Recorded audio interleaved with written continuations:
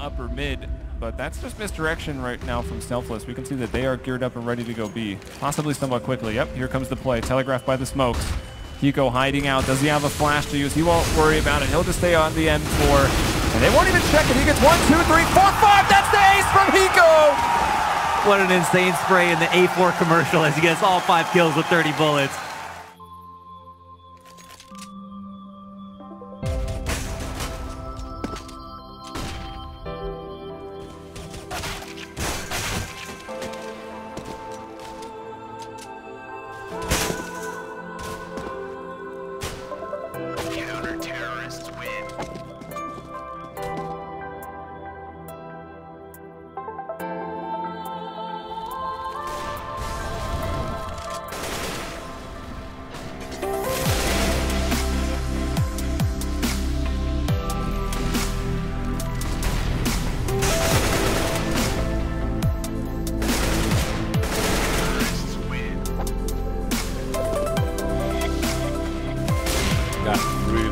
But NBK gets back off the angle. Now kennyS is in. This is not a good situation for the team, but shot is missed. NBK with a jumping penetration shot into the face. Chris Jano lets even Chris Spiddy alone. Got two frags there, but he's got to find two more. And that jumping off is still in play here. Is he going to get another one? NBK jumping off, and he will get punished. Spiddy comes back with a 4K.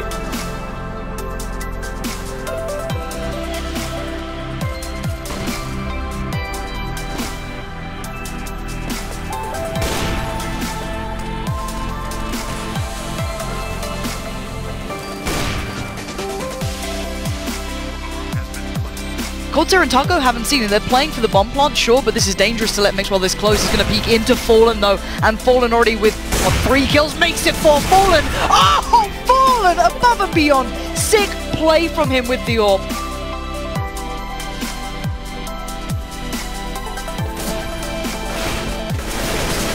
And now pyth, already finding two, has to look for more. And look at this, they know exactly where that bomb is. They can play to the time. 56 seconds, pyth's not done. He finds another! pyth, that's four kills already. And now Fallen left in the 1v2 to close this game out. He takes the fight and he loses it! pyth takes the ace to keep NIP alive in this tournament. That's an incredible straight of confidence from player in that position. A lot of work on his shoulders at the moment if they do decide to push this, but look at the position. Lovely work from Twist. He goes aggressive. He found one. He found two. Important stuff. He's going to find a third as well. Twist going ham. He's going to find the fourth. What a play from Twist. So there's a strong start, at least for G2 in this key round. They cannot allow Luminosity to get past 13 rounds here. If Luminosity get up onto 14, that's far too close. Look at Cold sneaking into B as a response to the mid-aggression and takes out Scream. They're going to try for the smoke and the flash to try and see if they can get cross.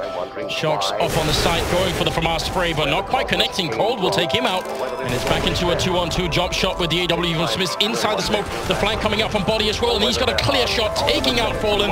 It's all on Cold here, one on two. They need this to close out the map, and Cold spray not quite connecting yet. There's so much time on that bomb still left, and G2 they're just going to move up together here, trying to see if they can get a little bit of teamwork in. Cole getting close. There's the one shot. He sprays. Oh, moving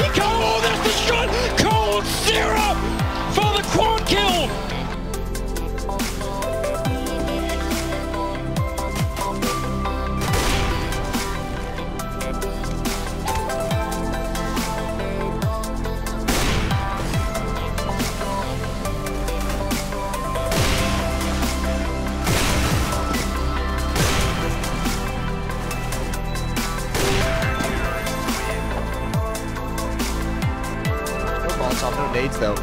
So it's got to be duels one.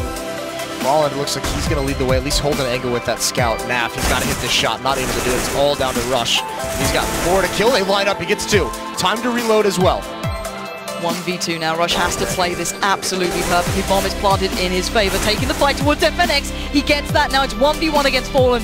Fallen with the scout just flies in. He knows time is against him. He doesn't have a kid. Ah, the Rush going above and beyond for Optic. That was almost impossible. And a sick bit of play again will push him further and further towards that top of the scoreboard. 17 and 5 for Rush. He's had one hell of a start to this game. Sometimes you just can't account for these performances or these these individual efforts.